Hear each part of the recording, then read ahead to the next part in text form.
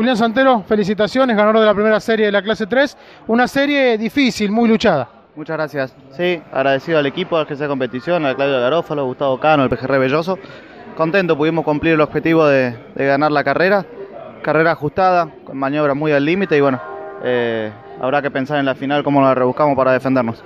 Una fricción que tal vez eh, fue en demasía, ¿no? Me parece que estoy arriesgando de más para mantener la posición 1, mucha diferencia por derecho.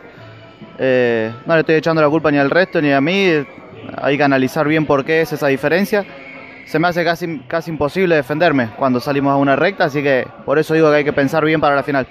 Pensando también en lo que fue la serie, la última pelea, ¿pudiste hacer una pequeña luz? ¿Eso te dejó tranquilo para definir la serie? Sí, después se molestaron un poquito atrás y pude, pude hacer dos o tres autos, que ahí ya no me agarran succión y pude definir la carrera. ¿Qué es lo que está faltando? Decías por derecho, pero hay algo más que tal vez quieras mejorar. Sí, velocidad. Velocidad por derecho.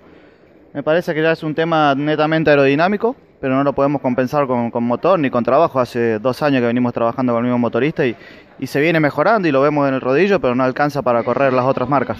¿Alguna tendencia para la final? No, tengo un auto muy bueno, muy lógico. Habrá que ver cómo nos defendemos por derecho nada más. Gracias, Julián. Gracias.